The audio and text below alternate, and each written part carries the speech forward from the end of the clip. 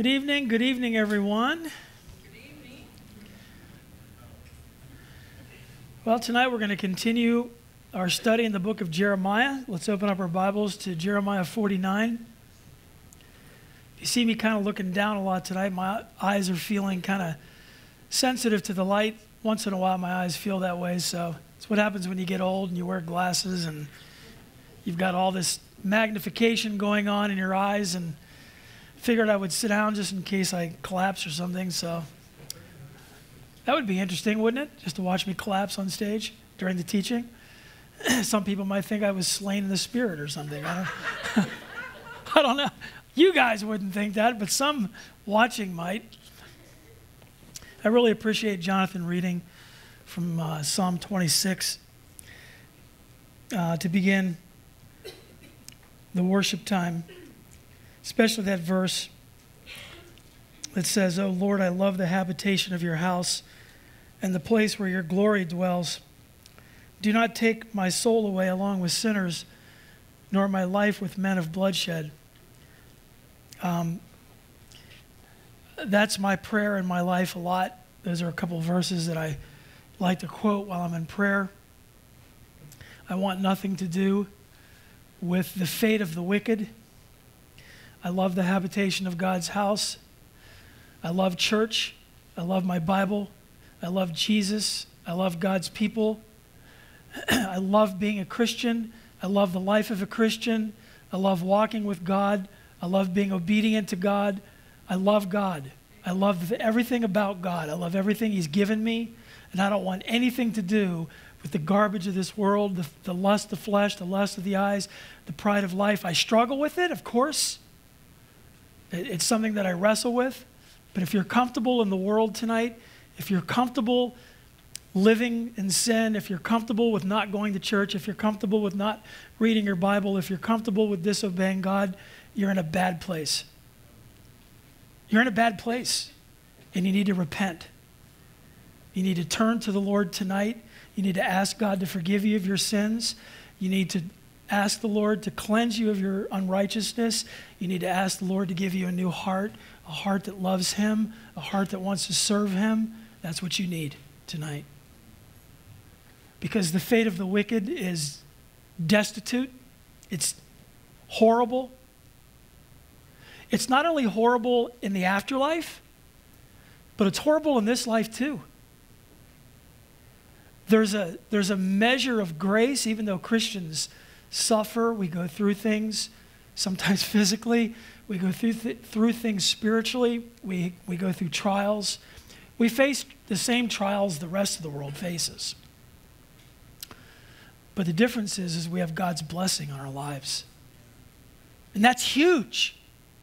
That's everything. That means I'm always in the palm of his hand. That means if something happens to me, he's there with me. He's holding me in the palm of his hand. I'm the apple of his eye. He's, he's, when something happens to me and I feel like things are out of control, he's in control. He's there walking with me, putting the right people in my path. And when you're a non believer or when you're just disobedient to God, even as a believer, some of those protections are not afforded you. You lose some of that. We don't want that. Shouldn't want that. So read Psalm 26 on your own and meditate on it for a long time. A long time. Let it sink in. Okay? Jeremiah chapter 49. Let's turn there. How about if I turn there since I already told you to and you're probably already there? Jeremiah 49. Chapter 49 is a continuation of a long section consisting of prophecies of judgment against a variety of Gentile nations.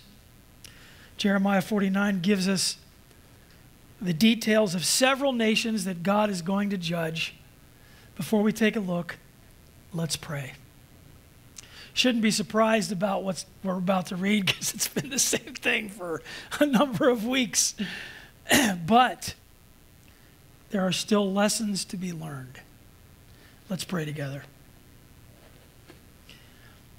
Heavenly Father, we thank you so much for tonight, for bringing us here, God, and, and placing us in this nice air conditioned room, the comfort of the seating that we have in this kind of a climate, Lord, where our attention can be fixed on you. As Jonathan prayed earlier, Lord, that we wouldn't wander. We have enough creature comforts in this room to keep us from doing that.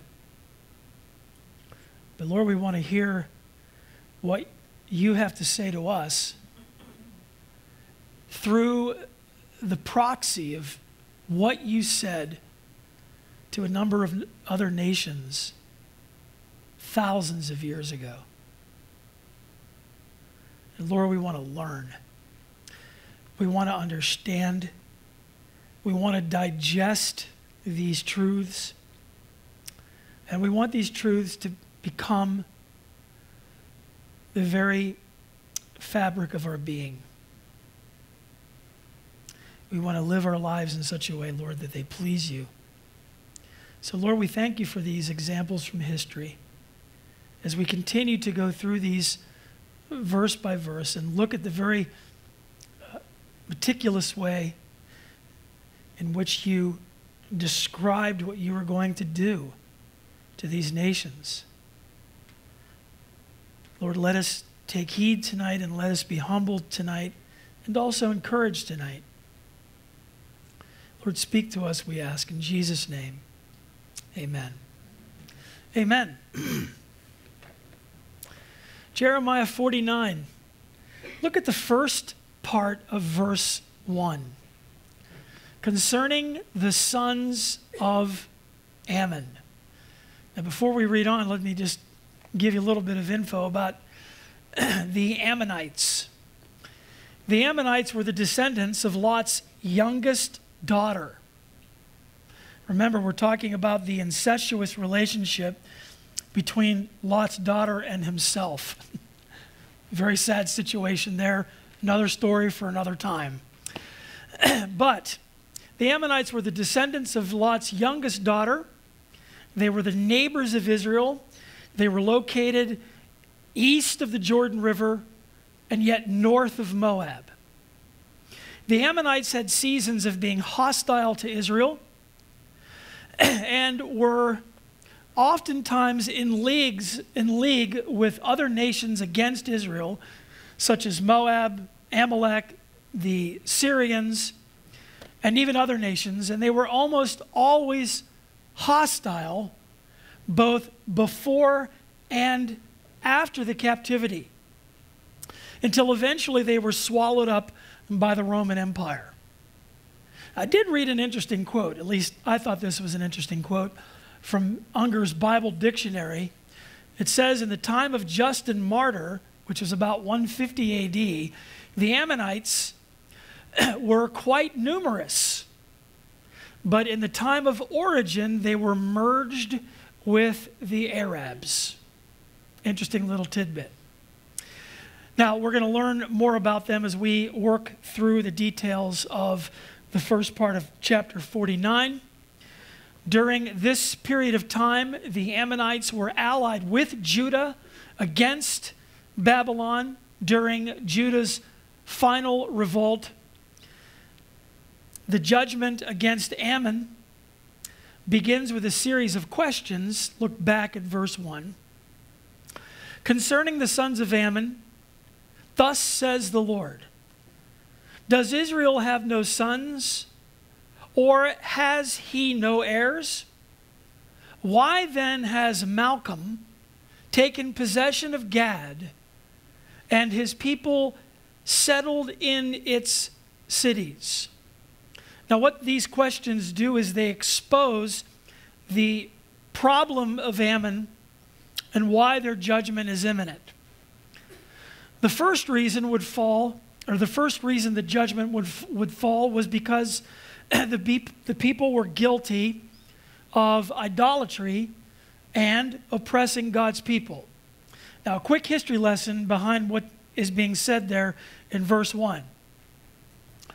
When Assyria conquered the northern kingdom of Israel and exiled its citizens, the Ammonites immediately moved in and took control of some of the land and claimed it as theirs. What they did then was they gave their false god Malcam, by the way, Malcam is also known as Molech. It had several different names. I'm going to use the word Molech because I think most of you are probably familiar with that word. but they, they gave their false god Molech credit for giving them the land. But there was a problem with their claim. Centuries earlier, the Lord had promised the land to Israel, in particular to the tribe of Gad. And although Assyria had exiled the citizens of Gad, the Lord had promised that they would return to their homeland. So, this was the background of the questions that God is asking here of the Ammonites. Did Israel have no sons or heirs to return to inherit their land? Why were the Ammonites claiming that their god Molech had taken possession of the land and had given it to them as a gift? Why were the Ammonites living in towns that belonged to the tribe of Gad? These penetrating questions posed two, or rather exposed, two of the major sins of the Ammonites, and that is, as I mentioned earlier, the sins of idolatry and the sin of oppressing God's people. Consequently, they would face God's judgment because they worshiped the false God and they persecuted the people of the Lord the only true and living God. And they were well aware of the God of the Israelites. After all, Lot, their, from, from whom their seed came, Lot knew who Jehovah was. In fact, you can barely tell it from reading the Genesis account, but from 2 Peter's account, from 2 Peter, we understand that Lot was actually a righteous man. As weak as his righteousness may have been, he was a righteous man. So they were well aware of Yahweh. So the Lord continues, verse 2 Therefore, behold, the days are coming, declares the Lord, that I will cause a trumpet blast of war to be heard against Rabbah of the sons of Ammon, and it will become a desolate heap, and her towns will be set on fire. Then Israel will take possession of his possessors, says the Lord. Wail, O Heshbon, for Ai, I think that's pronounced Ai, has been destroyed. Cry out, O daughters of Rabbah. Gird yourselves with sackcloth and lament, and rush back and forth inside the walls, for Malcam or uh, Molech will go into exile together with his priests and his princes. So the Lord declared that one day he would sound the battle cry against their capital, which, going back to verse 2, was Rabbah, and the nearby towns of Rabbah. They would be set on fire and would become nothing but mounds of ruin. The land would be returned to the rightful heirs, the Israelites to whom God had promised it. Because of the sins of idolatry and oppression, the major cities that are mentioned there in verse 3 Heshbon and Ai, these major cities would be destroyed. The people would weep and wail as they suffered their just punishment. And they would be exiled right along with their, as it says there in the tail end of verse 3, along with their false God and priests. So this false God, Molech, would be totally unable to come to their rescue, and God would show, as he does time and time again, that he alone is God and there is no other God but him. He continues in verse 4 How boastful you are about the valleys. Your valley is flowing away, O backsliding daughter who trusts in her treasures, saying, Who will come against me? Behold, I'm going to bring terror upon you, declares the Lord of hosts, from all directions around you and each of you will be driven out headlong with no one to gather the fugitives together. So here, the Lord is rebuking them. Apparently, they felt secure because they were trusting in their wealth and their military power. Now, Ammon was a well protected country. It was difficult to get to because mountain ranges surrounded its territory on three sides. Below the mountain, range, mountain ranges were two major rivers, the Arnon River and the Jabbok, which made the soil of the nation's valley very fertile. Because of its location and its rich farmland, Ammon had a very strong economy and was a wealthy nation. Trusting in their wealth and military power, the people were self sufficient and they felt very secure. They were, very material, they were a very materialistic society, one that showed no interest in or need for the Lord. And so, consequently, they were going to face God's judgment. The Lord announced that he was going to use the surrounding nations as his agents to judge Ammon. The Ammonites would be driven out of the land that God had promised to Israel. They would have no leader who would gather the fugitives together. They were going to be scattered. But, look at verse 6. But afterward, I will restore the fortunes of Ammon, the sons of Ammon, excuse me, declares the Lord. So again, similar to Egypt and Moab, the message against Ammon ends in a hopeful word. Apparently, they're going to be the recipients of the Lord's blessing again during the time of the earthly reign of Jesus Christ. And we're going to see that phrase is going to come up again, where another nation is going to be the recipients of this blessing. But this is a long way off from this time period. Ammon, as was known back then, where is it today? It's been assimilated, it's nowhere. For right now, the, it doesn't exist as a land, at least not as Ammon. Now, beginning at verse 7, let's move on to verse 7. Now we're going to see a prophecy against the nation of Edom. It begins concerning Edom. Now let's stop right there. If you didn't already know this, the Edomites were Israel's neighbors to the south. They were the descendants of Esau, Jacob's older brother. Esau's descendants took up the land of the south and eventually formed into a dynastic reign of eight kings. And you can read what their names were in Genesis chapter 36. In fact, it says in Genesis 36 31, these are the kings who reigned in the land of Edom before any king reigned over the sons of Israel. So this was prior to Israel having any leader over them. The Edomites already had a king. Later on, we, you might recall that the Edomites refused to permit the Israelites to pass through their land. Remember, they, when they were coming up from the wilderness wandering, they came up through the land. They were trying to make their way around on the, you have to think about this for a second, the east side of the, of the Jordan, east side of the Dead Sea, actually, uh, trying to get to a route known as the King's Highway, major trade route that connected the north to the south. The Edomites said, uh uh-uh, uh, you are not coming through here. Well, you may recall that Esau had very bitter hatred toward his brother Jacob. And down through the centuries, the, Edom, the Edomites were filled with bitter hatred for Israel and did everything they could to oppress and show their hostility to the descendants of Jacob.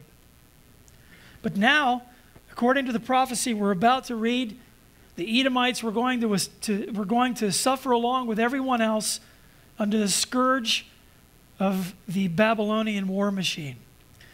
Let's pick it up with the rest of verse 7. Concerning Edom, thus says the Lord of hosts Is there no longer any wisdom in Teman? Has good counsel been lost to the prudent? Has their wisdom decayed?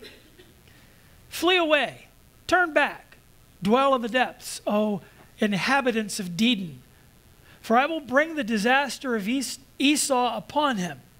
At the time I will punish him. If grape gatherers came to you, would they not leave gleanings? If thieves came by night, they would destroy only until they had enough. But I have stripped Esau bare. I have uncovered his hiding places, so that he will not be able to conceal himself. His offspring has been destroyed along with his relatives and his neighbors, and he is no more.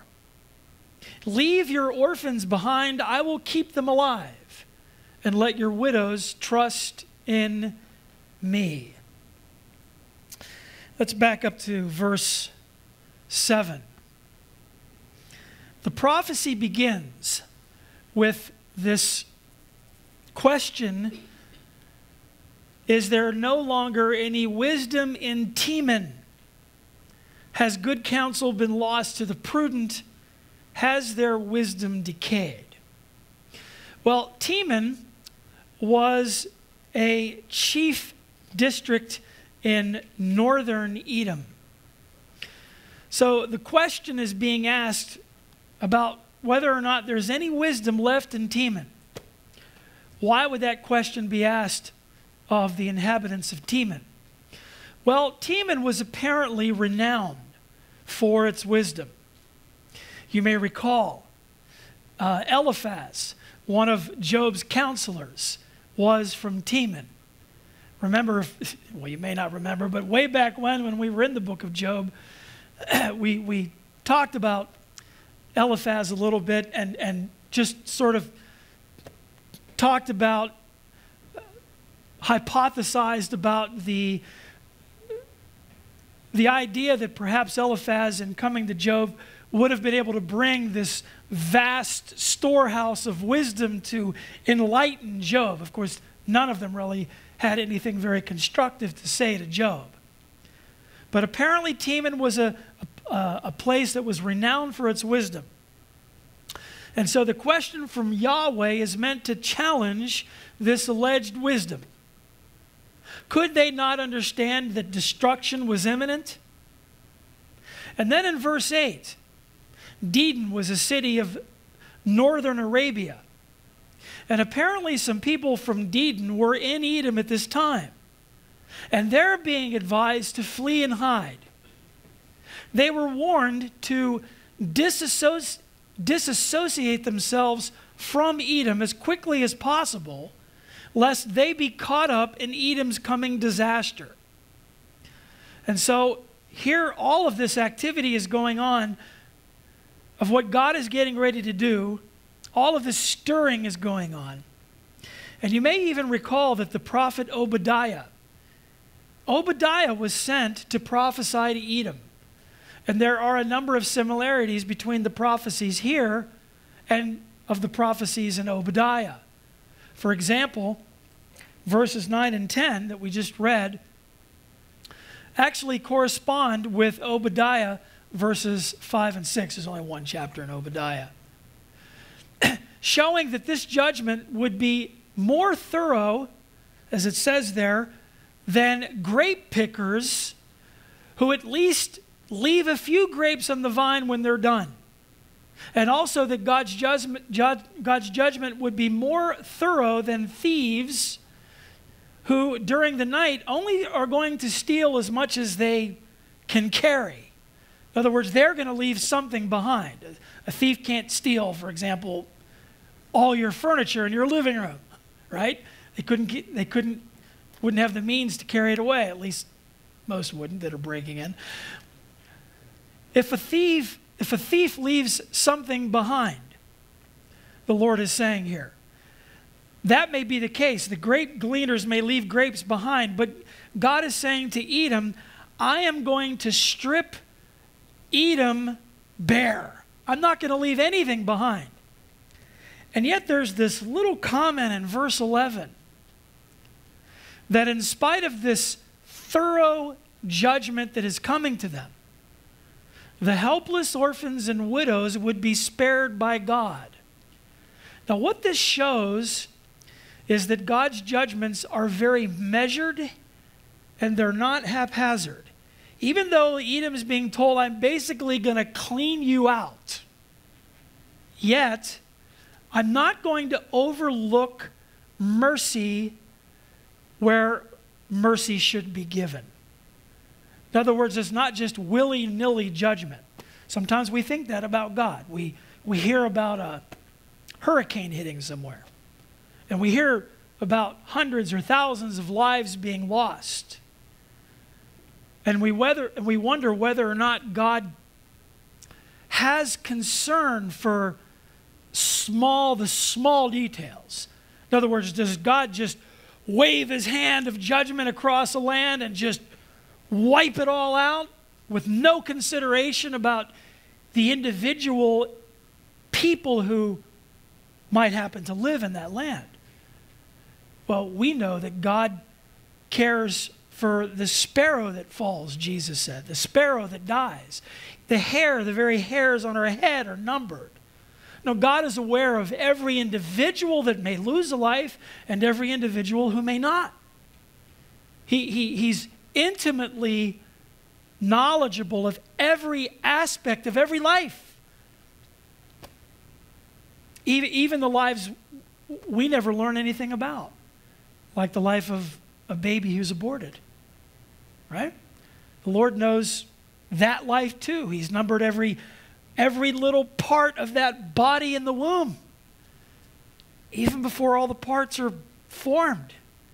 They're still numbered. God knows who they are. So I find this to be a very interesting insertion there in verse 11. But he's not done with Edom yet. Verse 12. For thus says the Lord, Behold, those who were not sentenced to drink the cup will certainly drink it,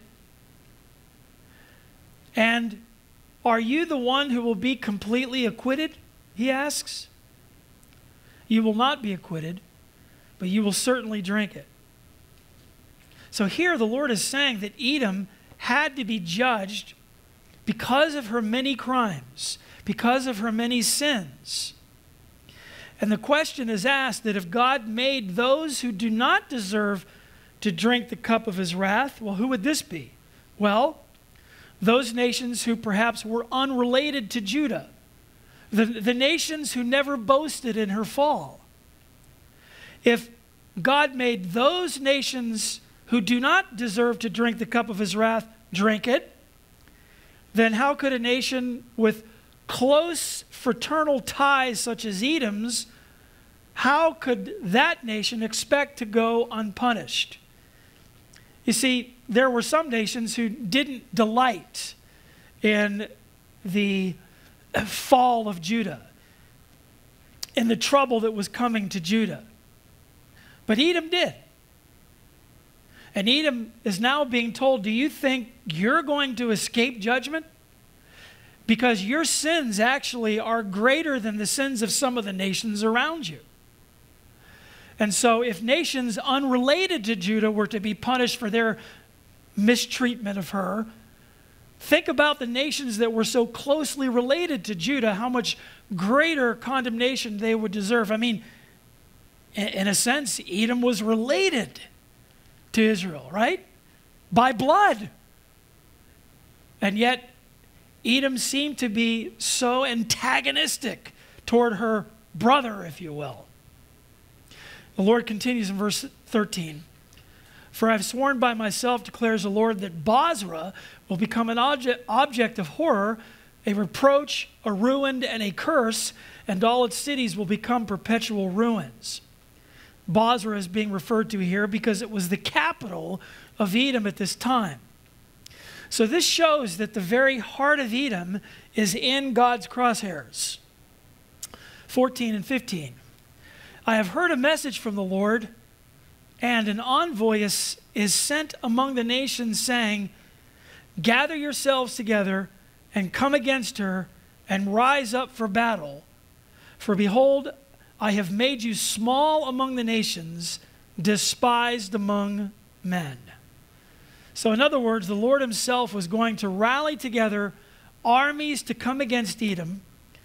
God would reduce Edom's prestige and power among the nations and the Edomites would be despised among men. A reputation that was at one time good was now going to be destroyed. Verse 16 As for the terror of you, the arrogance of your heart has deceived you, O you who live in the clefts of the rock, who occupy the height of the hill. Though you make your nest as high as an eagle's, I will bring you down from there, declares the Lord. Now, this is repeated in the book of Obadiah, basically, this, that verse right there. That people needed to know that their sense of security was false. Their pride in their impregnable defenses and military power was a false pride, it was a false confidence. And their sense of security was a deception.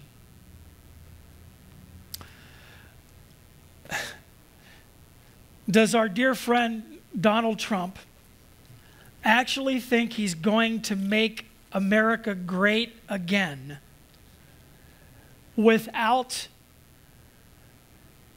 a calling to turn to God, to repent of our sins? Can America possibly be great just because it has economic status in the world, because it has a great military power? Is that all there is to making America great? Is the fact that we can trample over China or Russia? Is the fact that we have great trade agreements between these nations? Is that really the thing that's going to make us great again? Can we actually be great when we are a nation that wants to take God out of everything? Will God really allow us to just carry on with the kind of prestige and world domination that we've enjoyed now for so many decades? Is the Lord really just going to let us continue on our little march as a superpower without a turning to Him, without an acknowledging, Lord, we're great because of you? Of course not. It's not possible. Continuing on.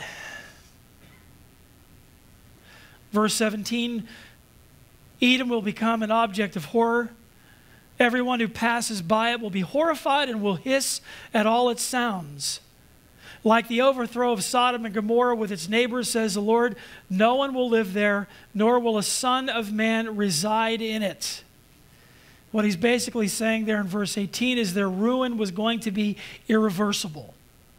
This was going to be a final blow that was going to bring Edom as we know it down permanently. Verse 19. Behold, one will come up like a lion from the thickets of the Jordan against a perennially, perennially watered pasture. For in an instant I will make him run away from it, and whoever is chosen, chosen, excuse me, I shall appoint over it for who is like me? And who will summon me into court? And who then is the shepherd who can stand against me? In other words, if God, if this all happens, who, who's going to call God into account? Who's going to bring God into a courtroom? And who is it going to be? Who are the jury? The, who's the jury and judge that's going to call God into account? And who is this shepherd that's going to stand against me? Who is going to protect these people? Who can protect something that God is coming after? And the answer to these questions is well, no one. No one can. and no one should want to. Because if God's coming after them, there's a just cause. So someone who'd be trying to stand in the way of that would be standing in the way of what's right because God is a God of truth. Verse 20. Therefore, hear the plan of the Lord which he has planned against Edom, and his purposes which he has purposed against the inhabitants of Teman. Surely they will drag them off, even the little ones of the flock. Surely he will make their pasture desolate because of them. The earth has quaked at the noise of their downfall. There is an outcry. The noise of it has been heard at the Red Sea.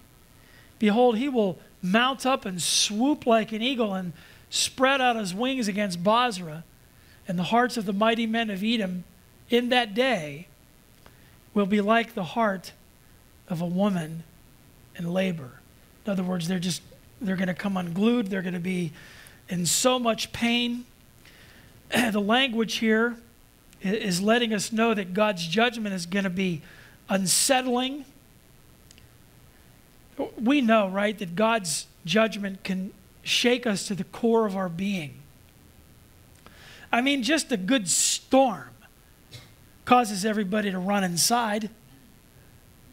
If, remember that one time, was anybody here on that Wednesday night when it, it, there was a storm and there was a thunderclap in the back of the church while I was teaching? It was so loud. Remember that? So I see one head shaking. It rocked this building like nothing else I've ever seen. And I remember thinking that lightning had to strike like right behind the church. The Lord can shake any human being to the core of their being. Anyone at a moment's notice.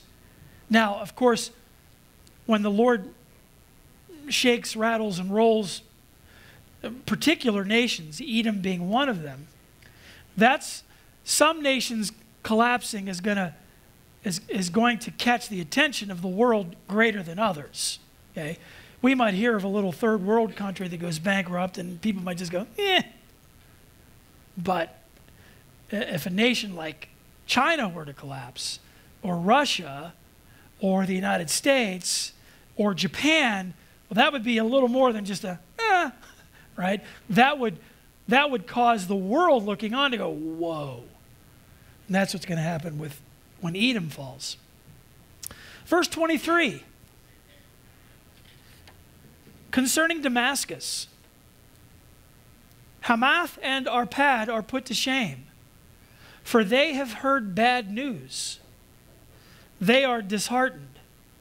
There is anxiety by the sea, it cannot be calmed.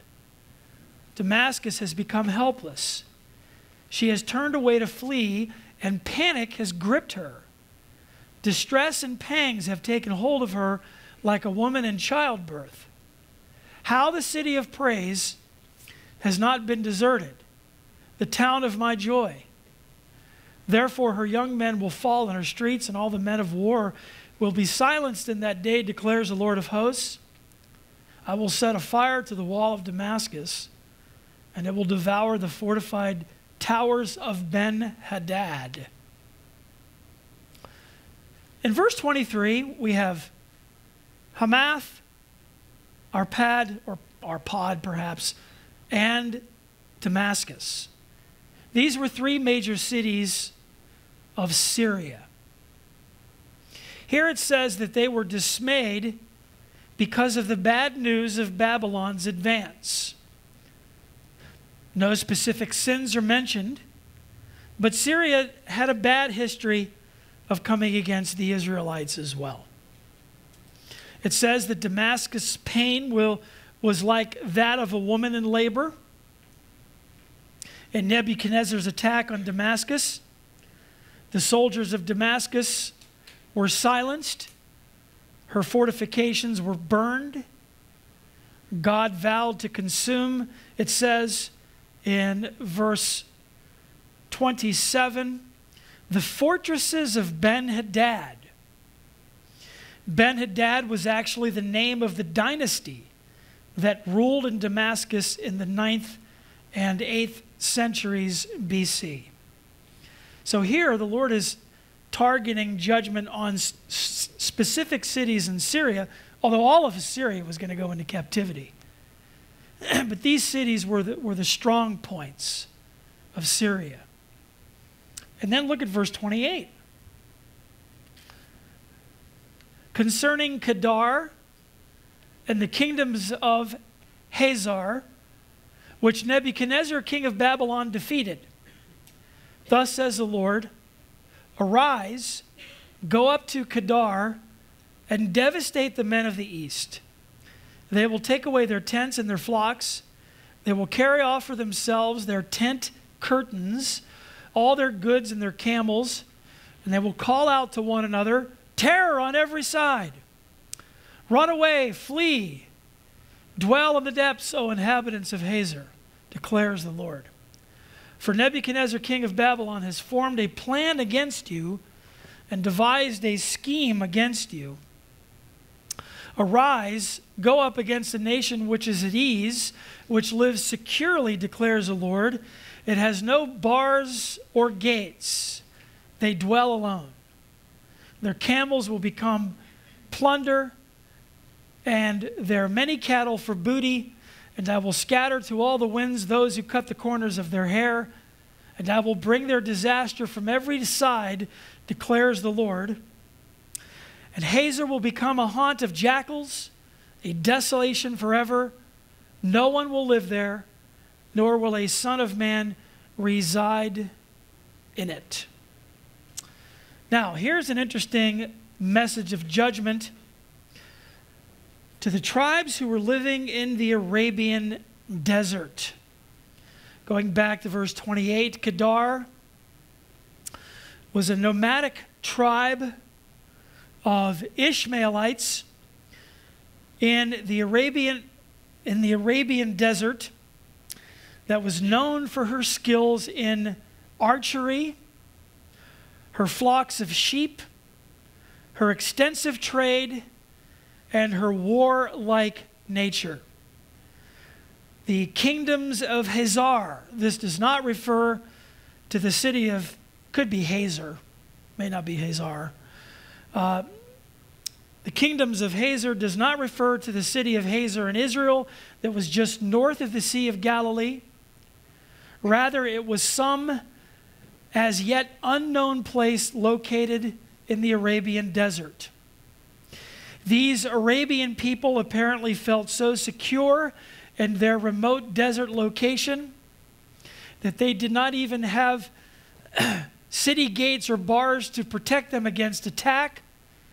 But it says that the inhabitants would be scattered to the winds, and the city itself would become a haunt of jackals forever. A symbol, as it says there, of desolation. Verse 33.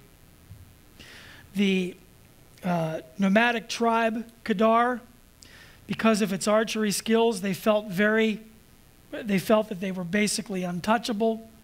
And the Lord was saying, No, even though you're nomadic, even though you're known as warriors, the Lord says, even in the desert, I'm going to hunt you down, I'm going to track you down. The Babylonians are going to track you down, and they're going to wipe you out. Well, they already had at this point. And then finally, the very last prophecy that which came, verse 34 that which came as the word of the Lord to Jeremiah the prophet concerning Elam at the beginning of the reign of Zedekiah, king of Judah, saying. Let's stop there for a moment. Now, concerning this prophecy against Elam, according to one source, Elam was one of the earliest civilizations on earth an ancient nation that probably could trace its roots back to Elam, the son of Shem and grandson of Noah. Elam was located about 200 miles east of Babylon on the eastern side of the Tigris River. It lost its importance as a dominant world power when Assyria conquered the nation somewhere around 640 BC. It regained its independence when Babylon conquered Assyria. Eventually, Edom and Media joined hands to become one nation. Later, the king of uh, King Cyrus of Persia defeated Media and Elam and founded the great Medo-Persian Empire that dominated Western Asia from 539 to 331 BC. Interestingly, Jeremiah gave this prophecy early in the reign of King Zedekiah of Judah. This suggests that perhaps God wanted the world of that day to know that Edom would not be able to stop the mighty power of Babylon, God's appointed agent to execute justice against the wicked nations of the world. So, in other words, even a, native, uh, a nation as old as Elam would not be exempt from what God was going to do. Uh, God pronounced that his hand of judgment would fall on Edom. And the reason for this is because of Elam's false trust in their military equipment and power.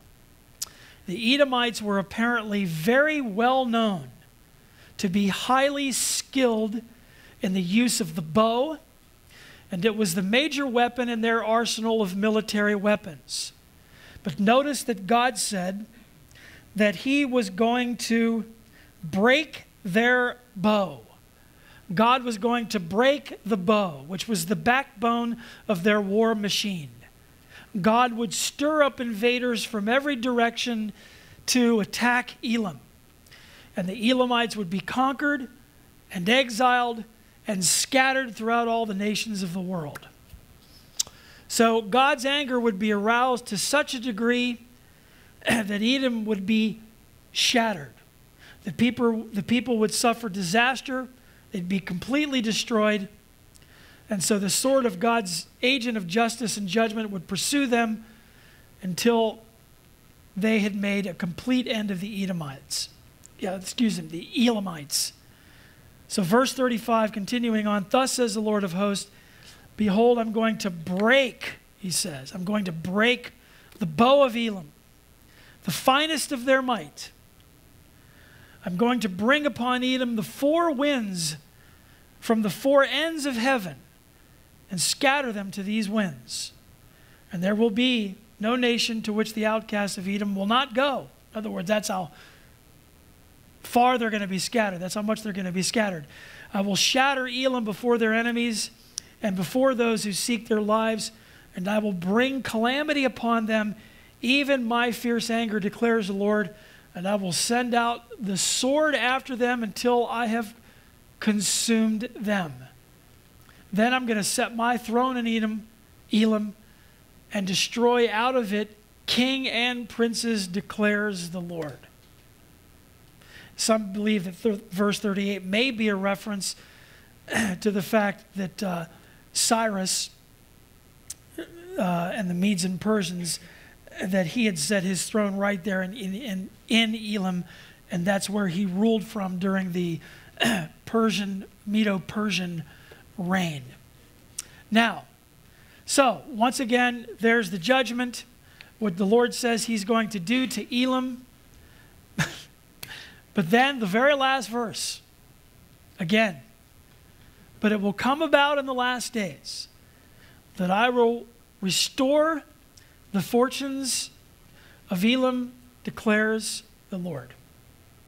So, in spite of the harsh, harshness of judgment on Elam, the message closes with a word of hope very similar to the one that was given to Egypt, to Moab, and to Ammon. And so the message of hope here teaches that there are no limits on God's sovereignty. It may include judgment on a nation, and it may include exaltation of that very same nation. But here we see that the collection of messages against several nations in chapter 49 serves to affirm God's universal sovereignty and that all nations are subject to accountability to God, regardless of whether or not they belong to Israel God was going to hold them accountable. God, of course, we know that God is one day going to bring judgment to the entire earth.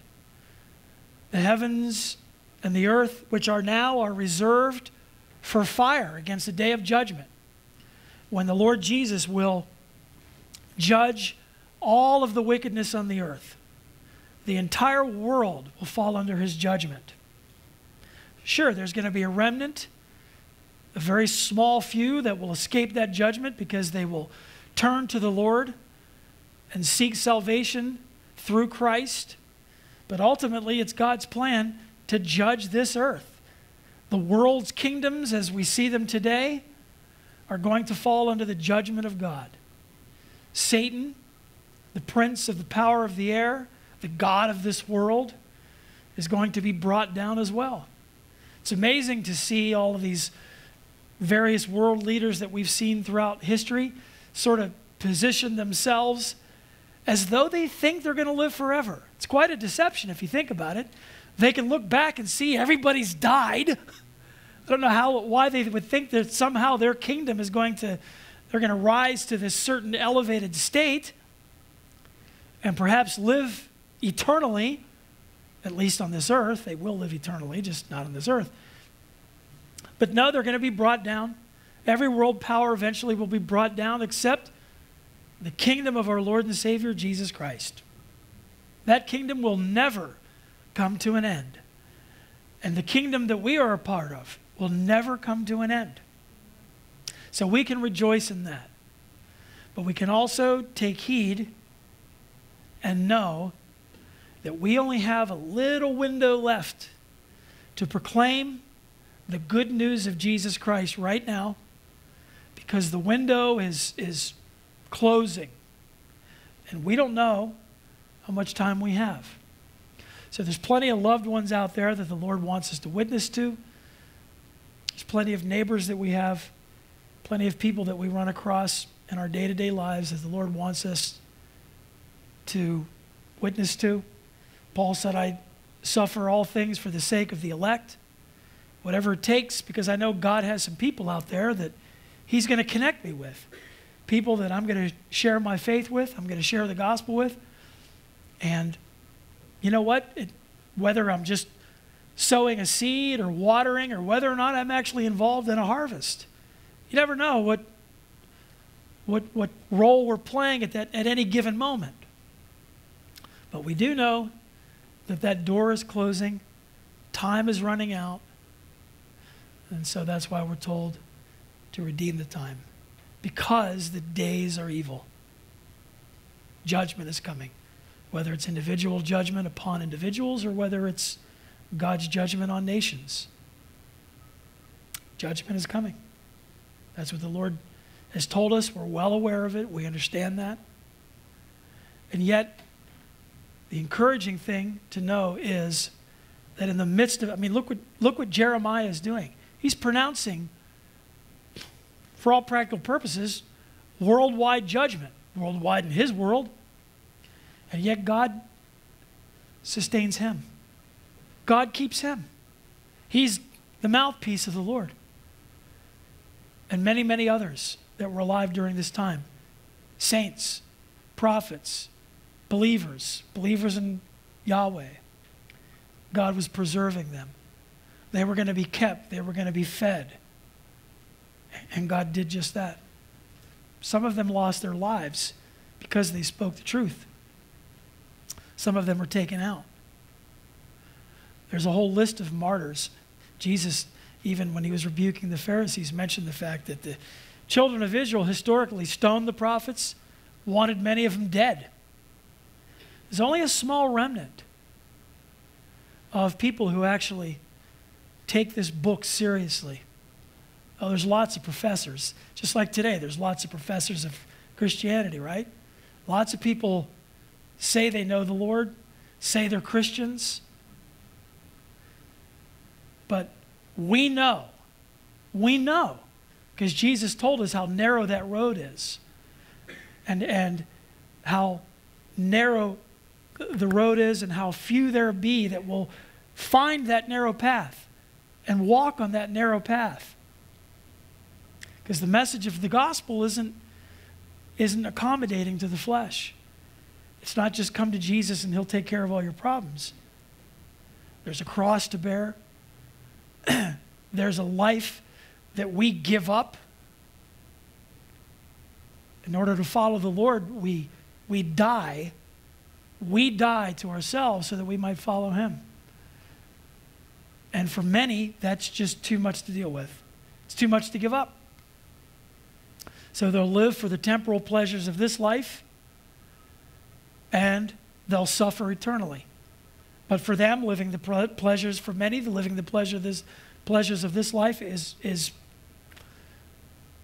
is all they want because the God of this world has blinded their eyes, made them blind and dulled their senses so that they can't see beyond the, the temporal, they can't see the eternal.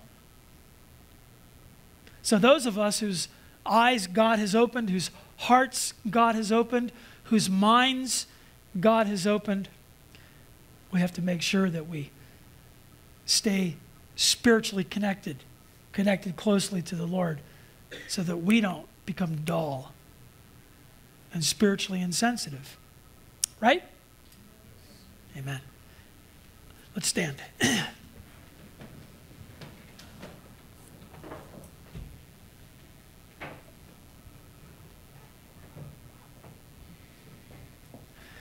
Elam and Damascus and Edom and Ammon.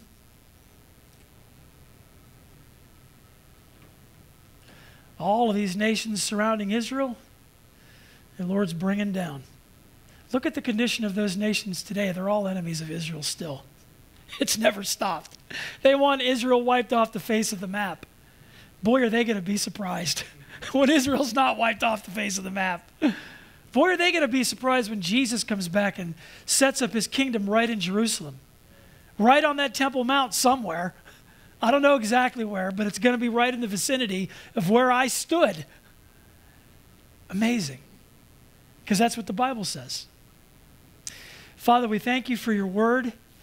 We thank you, Lord, for the trustworthiness of the scriptures. We thank you, Lord God, that we have a sure word of prophecy whereby we would do very well to take heed. And Lord, we embrace this word as your word to us. And we thank you for it, Father. We pray, Lord God, that we would live our lives according to it. Lord, thank you for bringing all of the saints together tonight to study your word, to look into this, these long chapters that we've been covering.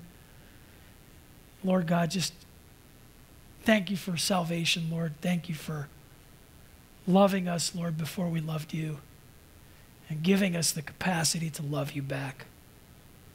In Jesus' name, amen. God bless you guys.